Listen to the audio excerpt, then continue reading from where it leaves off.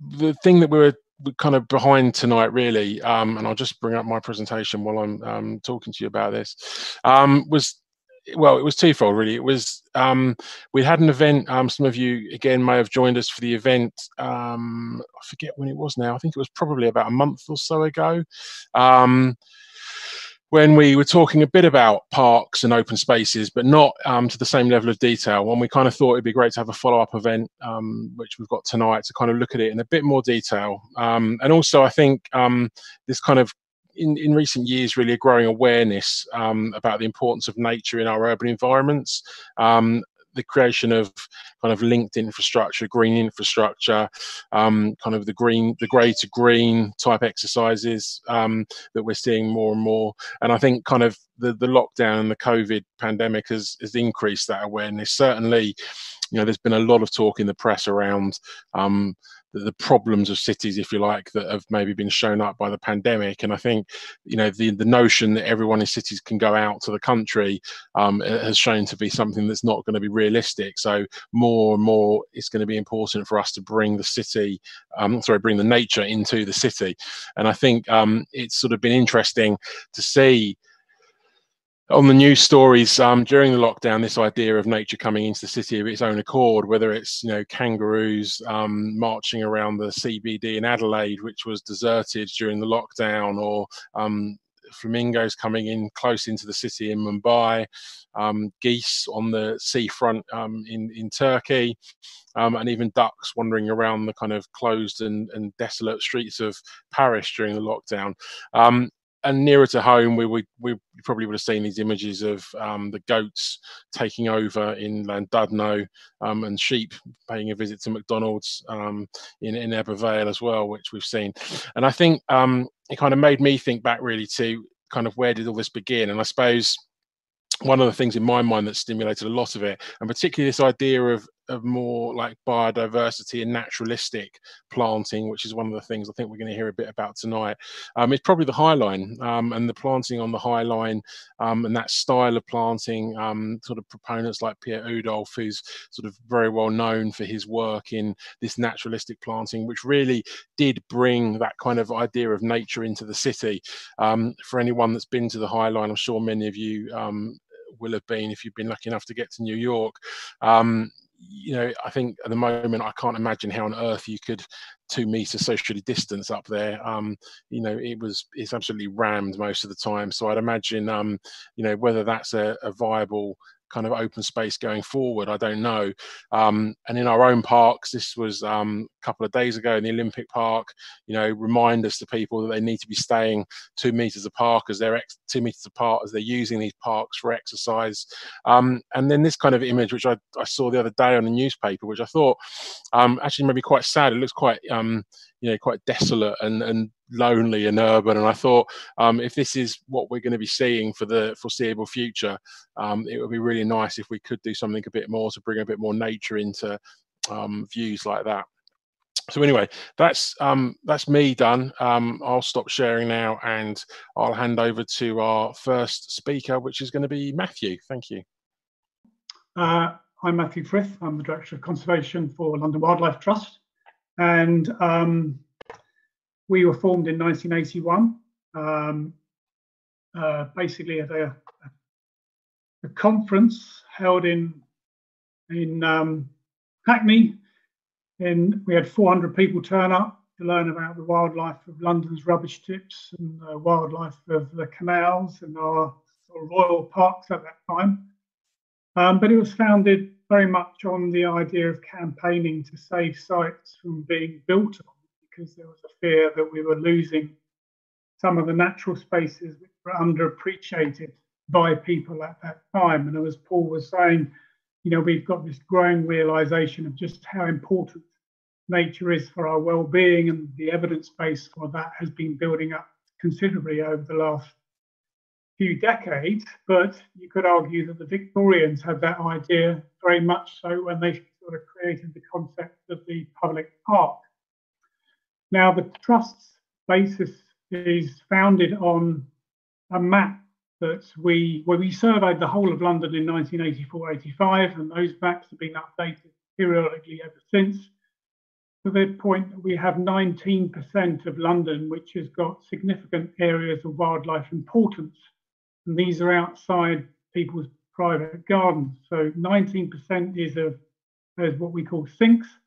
24% of London is um, private gardens, 3.2 million garden plots as a whole. And we have a breadth of habitats in London, which is often underappreciated. So we have ancient hay meadows, we have ancient woodlands, we have heathlands, we have wetlands. We also have those gardens, we have many hundreds of parks, we have housing estates, and we have new green roofs. And London is much more than rats, pigeons, and foxes. Uh, at the moment, we have 15,000 species on the database of plants, animals, and fungi found in London. They're the um, other citizens we share our city with, and we're increasingly becoming more aware about how their needs can be met. Some of those are species which London is actually nationally important for, like black redstart on the top left hand side there. There's fewer than those than golden eagles in Britain. Small blue on the top right is our smallest British butterfly, and we've got sites in London which are in the top four spaces for the whole of whole of Britain for this particular butterfly. The European eel, which migrates back and forth to Sargasso Sea in the Western Atlantic, and the plants in the in the bottom right-hand corner is greater yellow rattle. Again, London has the largest amount of these this particular plant in the whole of the UK. We have a large number of stag beetles, and currently these are kind of flying around at this time of year, and, and many thousands of people have been recording those on our behalf. But we are a society which, which is becoming increasingly disconnected from nature. So, despite uh, the sort of recent interest of goats coming in Llandudno and sheep in Ebbw Vale and the uh, fallow deer that come into the housing estates in in Harold Hill and Havering, yeah, we have generations of, of people who have become disconnected from the natural world. And this, for me, is an image of something I would like every school children to be able to fearlessly um, uh, take on. That they can, they can, they're proud enough to have a leech crawl over their face. But we're a long way from that. 33,000 hectares in London is what we call areas of deficiency high quality natural habitat from a London context. And we've also been building over our gardens. So this is some work that we did now 10 years ago that showed um, 3,000 hectares of London's gardens disappeared over an eight and a half year period, which is equivalent to two and a half Hyde Parks going each year. Not only having an impact in terms of biodiversity, but particularly in terms of climate change resilience and our kind of ability as a city to combat that kind of climatic chaos and change, which is which is becoming well becoming much more evident. And Sue may touch on this. I'm taking this from um, the work that's been undertaken in Sheffield here. But what we've seen is a, a massive decrease in what we call children's range behaviour. And this is a, uh, just a sort of image showing over four generations how a great great sorry great grandfather in 1918 1919 at the age of eight was allowed to go six miles to go fishing on his own whereas the son is now only allowed to go to the end of his street. And that is not really anything to do with stranger danger as the media might suggest. That's to do with cars. So city traffic is the main reason that people have become disconnected from the natural world. And that is basically by this, this condition now, which um, certainly uh, psychologists and other medical practitioners to recognize, which is nature deficit disorder, which is particularly affecting young people who are not having that contact with the natural world.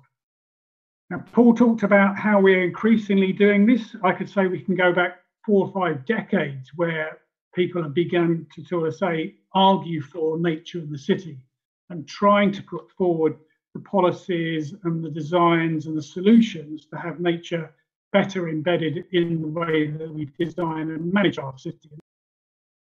This is just a handful of a plethora of guides that have been published over the decades. Today we're 47% green and blue. Uh, one of the greenest cities in Europe in that respect. But it's also a city that we're also, uh, which we're very much aware, is growing very rapidly. And the current London plan has got this uh, anticipation of having to build 66,000 homes each year by 2041. The question is where are they're going to go, what they're going to look like, and how are they not going to impinge on the natural qualities that we, many of us, uh, desperately uh, enjoy and seek to protect. There's been a lot of work in the last four or five years trying to get a better understanding of the economic value of our natural environments in the city.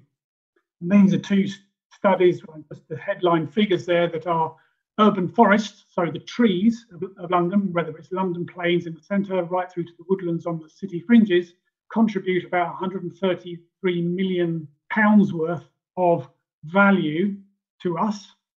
And then if we look at uh, the public green spaces in London, they contribute about five billion pounds a year in terms of ecosystem services, whether that's in terms of climate cooling, moisture, surface water uh, runoff prevention, or slowing down that surface water, as well as the kind of uh, softer social benefits that the natural world gives us.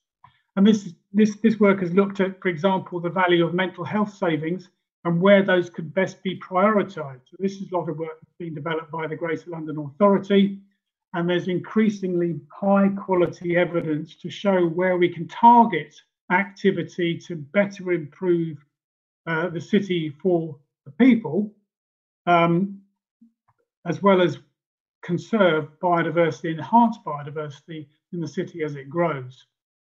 And we have a background London environment strategy. I won't go into the details of that. This was published two years ago with a number of objectives which I'm sure we all support. And the way that the London Wildlife Trust is working on this, as many sort of environmental NGOs, is what we call a recovery plan for nature, and that there's a new nature recovery network, which the Environment Bill going through Parliament at the moment seeking to embed and require local authorities to publish at a local authority level.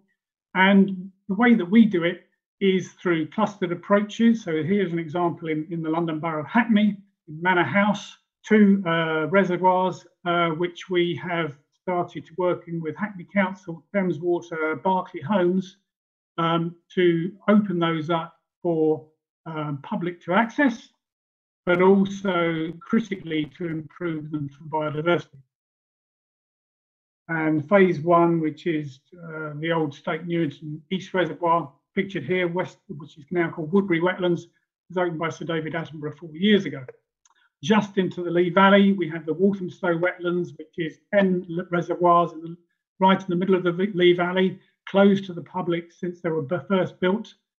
Key source of London's water supply. Um, but also internationally important for the birds that they support.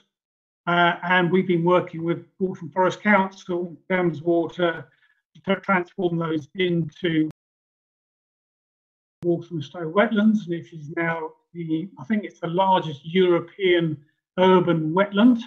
Um, and yes, it's quite formal in its kind of structure, but the, the way that we can soften those reservoir edges has begun to change the way that people locally view these, uh, well, most of the people who live locally didn't even know these sites existed, going back to the point of disconnection.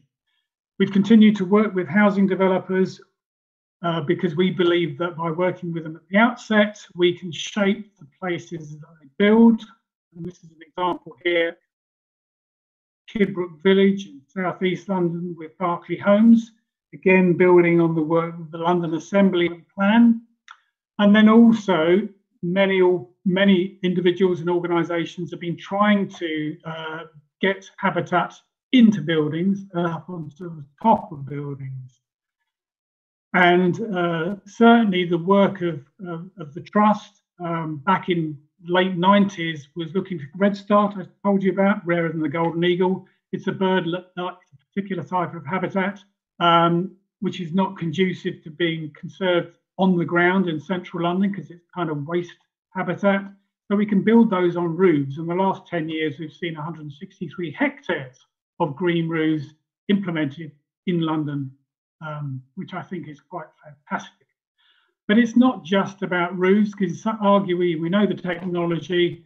I think it's about the more challenging examples and how we change our terrestrial environment, looking at road space. Paul looked, you know, showed us images of a kangaroo in Adelaide. Um, our roads have become emptier over the last couple of months, and it's interesting how they might look like if we move towards uh, different forms of transport. If we move to communal car sharing, we may need less cars on the roads. The desire for more pedestrian and cycle friendly traffic we can start also changing the places that, like this is a Rhode Island in uh, Herne Hill, which we were working with uh, local residents in a bid to try and improve the kind of surface water runoff in this part of London.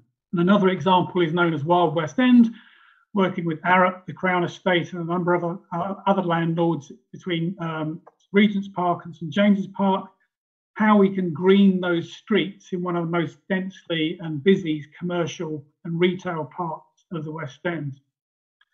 We're not the only wildlife trust doing this, and we're not the only other organisation doing this. Um, in, in other cities, so Avon Wildlife Trust and Nottingham Wildlife Trust approaches, one which is kind of looking at communal grassroots activities, and Nottingham, which is much more about branding the city and viewing nature in a different way. And this is one of my favourite uh, images from this campaign, which is trying to create a new language for nature in the city, which is embedded with the planning system and the way that our human anthropocentric views of the cities might be altered by looking at them through the views of nature. Finally, I just want to touch on a project that we're working on at the moment. This is on, on, on the fringes, uh, uh, in, on the North Downs, highly important habitat where we're basically creating by bulldozing green deserts to create habitats for rare butterflies like the small blue. Uh, and more importantly, we're bringing this into the housing estates of New Addington, um, which is a very large expanse of housing on the fringes of Croydon, bit of a ghetto, to be quite honest, disconnected from many parts of its uh, neighbours and huge amounts of fairly unfunctioning green space. There's even a sign you can't read it. says no ball games. So you can't even enjoy playing on this space if you're allowed to. And this is where we can put in habitat for butterflies.